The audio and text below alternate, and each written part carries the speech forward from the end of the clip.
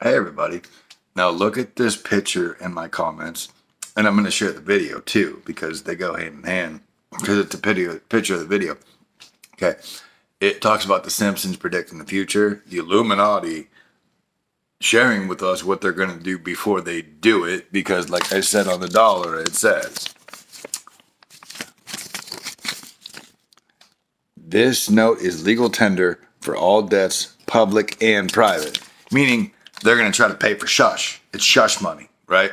Anyways, in the picture, you see Homer with the what do you call it? CG? No, not CGI. It's um. Anyways, like where they put the goggles on and you can see and like, and I said CGI because it's like the metaverse, virtual reality. That's the word. Anyways, and if you look at it, do you see the reference to Cyclops?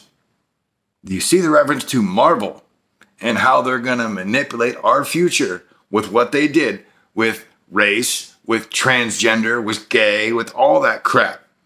We saw I saw this coming and I'm sharing with you to understand that that company that I'm taking over is never going to do that again, making all of their plans fall and destroy themselves. Have a blessed day, everybody.